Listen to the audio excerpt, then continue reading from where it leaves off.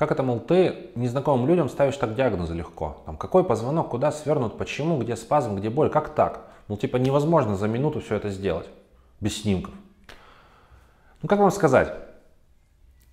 Учителя говорили, невролог ставит диагноз, пока человек идет от двери к стулу, на который он сядет. То есть там в среднем около трех метров.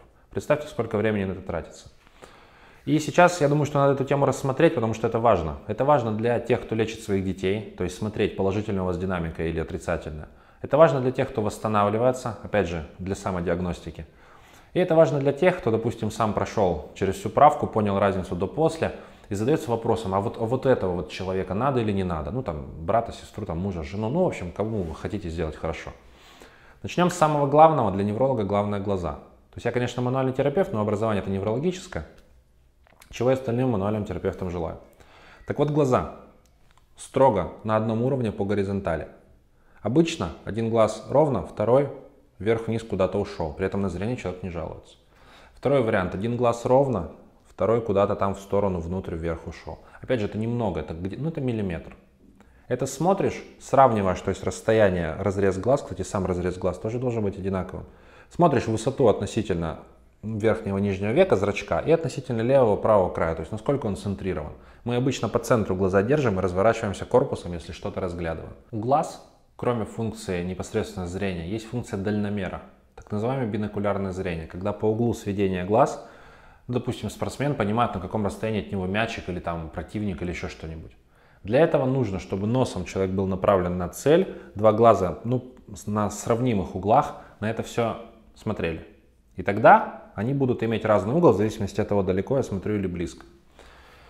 Закрыв один глаз, вы сразу же теряете этот механизм, и все вы видите, но расстояние мерить вы уже не можете. Так вот, этот треугольник должен быть равносторонним или приближенным к этому.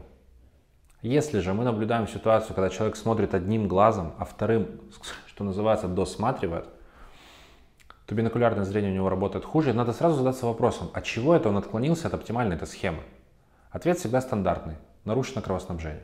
Поэтому, если вы видите, что один глаз прямо, а второй куда-то там где-то чего-то смотрит, и человек может этого легко не замечать, это даже в кинозвезд, хотя, казалось бы, фига у них там медбаза может быть, если они захотят, но тем не менее. То есть от дворника до президента это вообще без разницы. Это мелочи, но профессионалу они видны, а человек может быть еще в стадии компенсации. Я много говорю про глаза, потому что, допустим, в случае маленького ребенка это единственный достоверный признак, потому что глаза это очень важно ну, для выживания. И поэтому только нарушение кровотока заставит их куда-то там чего-то отклоняться. Кстати, по происхождению стигматизма в конце Советского Союза были разработки, что тоже связано с кровотоком. Но разработки не были закончены, страна рухнула, информация потеряна. У меня у самого информации тоже мало. Но Признак достоверный, признак важный, и это, в принципе, то, с чего начинается вообще неврологический осмотр. Дальше, это положение головы. То есть голова должна быть прямо, плюс-минус там градуса 3-5. Если она сильно наклонена, то какая причина может заставить человека наклонять голову? Только не надо про привычку. Привычка тоже на чем-то когда-то формировалась. Так вот, практика показывает, что она формировалась как раз на том, что позвоночник смещен, позвонок может один, может несколько в шее, и вот прямо просто держать неудобно, а вот сбоку удобно. Почему? Позвонок свернут, опора кривая. Вот, и вот так вот получается легче, чем вот так.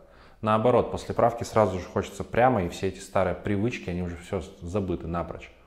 Дальше, после головы, высота плечей. Ну, то же самое, что заставит человека задирать плечо. Только какие-то спазмы, а откуда спазмы? Перекошен позвонок.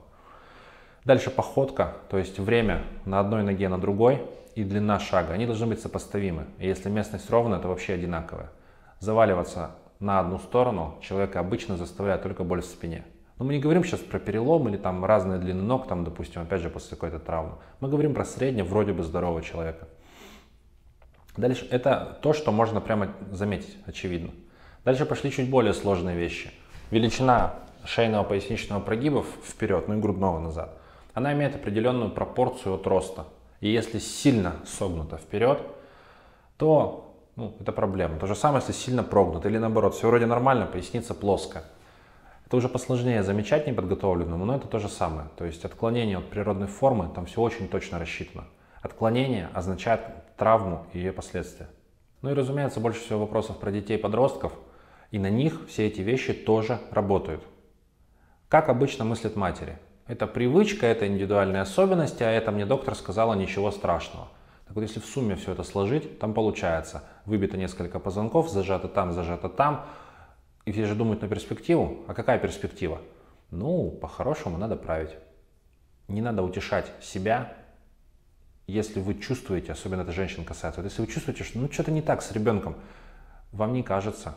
Еще ни одна мать не пришла и не сказала на своего ребенка лишнего. Все пришли и описали картину так, как она есть. Ничего, кстати, не забыв и ничего лишнего не надумав. То есть, если вы чувствуете, что что-то не так, ну, значит, вам не кажется. Значит, вы действительно чувствуете, это реальность. Ну, конечно, иногда бывают всякие мамы, как бы, и, и ситуации всякие разные, дети всякие разные. Но вот из того опыта, который у меня есть, картина вот такая. Разумеется, есть еще мои руки, которыми я смотрю, допустим, позвонки, их положение, то есть положение остистого, регулярность остистых отростков без всяких там ям, насколько плавные вот эти все контуры, то есть смещение позвонка вперед или назад. Есть еще тесты, про которые я не говорю. Я назвал только то, что можно вот смотреть издалека, то есть действительно от двери до того, как, допустим, сядет на стул, если мы в кабинете. Но даже этого достаточно, чтобы начать постепенно представлять, в каком состоянии находится твое тело или того, кто рядом с тобой. Если вот так вот критически начать вот на людей смотреть, то процентов 80 населения имеют те или иные проблемы с позвоночником. Ну, ничего удивительного. Другое дело то, что обращается очень маленький процент, мучается чуть больше, а остальные думают, что они здоровы, а потом удивляются, блин, инсультом в 40 лет и много еще каким другим заболеваниям.